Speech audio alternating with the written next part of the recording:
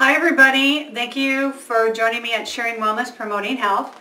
For the next eight Wednesdays, I'm going to be going through the Healthy Habits Challenge. I'm working on an online program. I did uh, actually author a Healthy Habits Lifestyle Guide a couple years ago on my journey back to health from RSD. So before I start, I want to talk a little bit about me.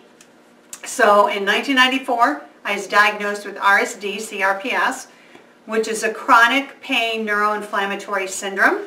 There's a lot of components to it. They're not really sure how it happened or how to fix it. Uh, but in 1994 I was crawling. It took me a long time to walk. Then I found SOQI Natural Health and now I'm kind of jogging and running again.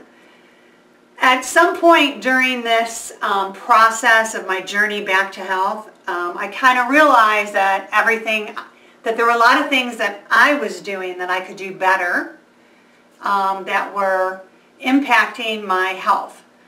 So when I sat there and looked at my life and the habits that I had and the eating that I had and the water and the exercise habits and the stress, all those things were contributing to more inflammation, more pain, and more fatigue in my overall health. So I decided when I found the SOQI products, the Chi, the Hot House, the ERE, the E-Power, and I started using them, there were other things that I could actually do to participate in my own health to make it better. So I went on an exploration and educational journey where I received um, tons of certifications. Um, I'm a certified aromatherapist, herbalist. I am a natural health professional. Last year I got board certified as a holistic health practitioner. I just finished a course with Dr. Tata on functional nutrition for chronic pain and acceptance and commitment therapy. So my focus, especially with uh, COVID-19, is um, I'm getting older and I really want to share this information with as many people as I can because it was instrumental to my health and making me feel better and I know it's going to help you feel better. So my goal is just to help others improve the quality of their life by sharing my story and what I've learned on using essential oils, plants, foods, and other natural substances to promote well-being, improve our health, promote healing, and prevent illness. So when we take a look at wellness, what is it? Wellness is a quality or state of being healthy in our body and our mind, especially as the result of deliberate effort. It's an approach to healthcare that emphasizes preventing illness and prolonging life as opposed to emphasizing on treating disease. The only way to achieve wellness is to keep working at it continually throughout your life and developing healthy lifestyle habits, focusing on managing your stress, your gut health, and several other things. It starts with a strong foundation. So a chair has four legs, a stool has three legs. So when I looked at my journey, I kind of broke it down into habits for daily living, which would be um, what we drink, what we eat, if we participate in exercise, how clean our environment is, how clean our air is. I focus on our gut health, um, the microbiome in our gut, which is related to all our health, our digestion, our elimination, managing our emotions, our stress, our anger, our fear, our sadness, how those emotions affect our sleep and how our sleep affects our health, and uh, the role prayer and faith and a support, a strong support group has in our health.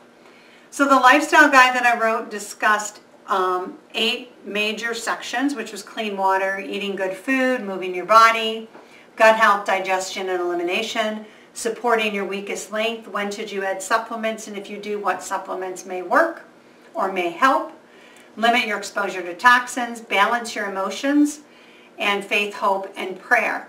I'm taking all this information and I'm going to be doing eight weekly segments on it that are going to be brief and then I'm working on an online wellness program at your own pace with support from me through uh, group coaching calls, um, much more in-depth on each topic obviously and um, to help you on your journey. So creating a new habit, the best way to make that new habit stick is to do it consistently. Just keep doing it. If you forget to do it one day, don't say, oh, I forgot, it doesn't matter. Just start doing it as soon as you remember. Because the, the bigger the habit, the longer it takes to change it. If you're trying to quit smoking, that's not going to go away in 30 days. I mean, if you make it the first 30 days, uh, yay raw because I've quit smoking and sometimes it takes more than one attempt, so you just have to keep doing it. Now I'm going to talk a little bit about water. So when we look at water, I just finished watching a PBS special on water, the foundation and the basis of all life, which is really true. I don't think it's a coincidence that three quarters of the Earth's surface and 70 to 75% of our body is water. We don't really think about water unless we're really super thirsty. And it's one of the most overlooked habits and one of the most beneficial habits um, you can have. In fact, if you look at history, the development of civilizations, civilizations have followed the path of water. If we don't have water, we can't grow plants, we don't have anything to eat, we don't have good soil, and it just continues. There's no speed, there's no bugs, it just keeps going on and on and on and on up the food chain. So our bodies need water because all our cells, all our organs, all our tissues use water. Water regulates our body temperature and it helps our body do its bodily functions.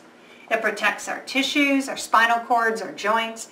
It helps our body remove wastes and assists in digestion. It helps us from becoming dehydrated and it also reduces inflammation in the body. And if you reduce inflammation, you're probably not going to be as tired and you're probably going to have a little bit less pain.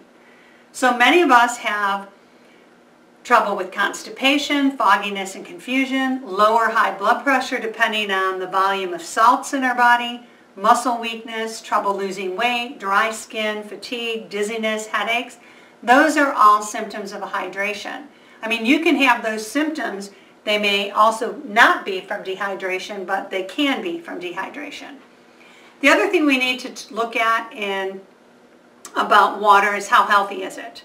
So if you're not using a water filter, I strongly suggest that you use one. If what happened in Michigan with the lead in the water wasn't enough, and you've never taken a look at the National Primary Drinking Water Regulations or checked out the little water report you get in your annual water bill, you may want to look those things up and you may want to look into at least filtering your shower water and definitely your drinking water. There's a lot of people that get skin rashes and itchy skin and dry skin and lose their hair because of the chemicals in the water because they're sensitive to it from the shower. I've seen a lot of remarkable things by introducing a lot of my clients and family members to showers in the water. The EPA primary drinking water regulation the reports that you get in the mail um, May, you know, a lot of them contain disinfectants, disinfectant byproducts, inorganic chemicals, organic chemicals, microorganisms, radionuclides, chloramines, which are eye, nose irritants, uh, chlorine, chlorine dioxide. Whew, that's a lot of stuff. So even though they're at safe levels, okay, what's, you know, if you can avoid them, I mean, why not avoid them? Okay? We've all been, many of us who drank tap water our whole life are, you know, still healthy, but why continue when now you know about them? There's been a lot of individual studies on chlorine and chlorine in the water and its relationship to some chronic diseases that a meta-analysis was done, which takes a look at all those studies and compiles the data. And there is enough information to assume that maybe uh, chlorine in the water isn't so good to our health. The other question I get a lot is what type of water should I drink? Well, definitely not tap water or bottled water because bottled water has no regulation, neither does well water. So if we know that there's certain levels of all these chemicals and things in our water that's allowed, and they're not testing bottled water and they're not testing well water, what's really in them, which is even scarier. So get a filtered water. So do you want a carbon filter? Do you want reverse osmosis? Do you want to drink distilled water? Do you want to use a Brita water pitcher to remove some of the contaminants or a filtration water pitcher for your drinking water? You decide, just use some type of filtration. I in my home use uh, reverse osmosis ion exchange with carbon um, and I'm happy with that. So the next area on water is how much should we drink? Well, you know, they say six to eight glasses a day or half your body weight in ounces per day. Um, here's the thing, um, green drinks, juices, uh, like vegetable juices and stuff, herbal teas, liquids from soups, or fruits and veggies that are really have high water contents like watermelon or cabbage and those kind of things, that counts towards your water. So if you're not drinking water, you may want to start adding in some maybe green tea um, and herbal tea, and we know we don't want to put tons of sugar in the tea. Um, some juices, some green drinks, um, those kind of nutrient dense drinks. If you eat a lot of soups, you're getting um, fluid that way as well. So when I look at life, I kind of look that um, life uses a multi-energy approach. The air that we breathe gives us oxygen and the air gets its oxygen, a lot of it from the plants who take in the carbon dioxide and give us the, some more oxygen. The sun gives us heat and light, which the plants need to grow and we need them to grow because they absorb the light through their skin. We absorb the sunlight through our skin. It keeps us warm. It gives us vitamin D. Um, it's very healing.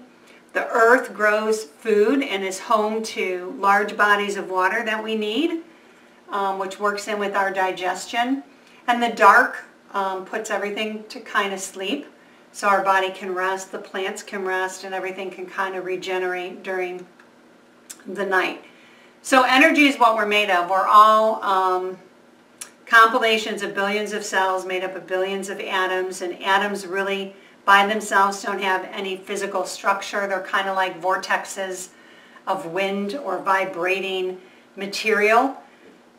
So that's what each of us are, a combination of billions of cells and um, tissues creating um, an organism of a plant, an animal, a human. Uh, so that's what this is about. So when you think about your body and you're sick, and then you say, hey, you know, my body's going to make billions of cells each and every day that are brand new. If I want to make healthier cells, if I want to make better cells, if I want to replace the bad cells with the good cells, if our body even really does that, which I think that it does, um, you need to have a stable foundation and you need to rebuild your health and you might as well build them healthy cells starting with water. So if you're not drinking a lot of water, start adding in some herbal teas, some green drinks, start swapping out your sodas and your second and third and fourth cups of coffee with water and see how you um, feel. In the beginning when you drink more water, you're probably going to go to the bathroom a little more, but your body's going to rebalance itself with the um, a fluid rate. So it will actually rebalance um, and not let it go. It'll start using it because it'll know that it's going to be replenished and it's not going to be starving. Kind of like food, you know, when you change your eating habits, you're hungry at different times and then that eventually goes away. So I always use Aquasana water products. I love them. That's what I use in my home. I've been using those for almost 30 years. Um, they offer drinking water filters, shower filters, and that kind of stuff. So I hope you join me during these things. Next week we're going to talk about food and how it interacts with our body to stay healthy. So thanks and have a great week.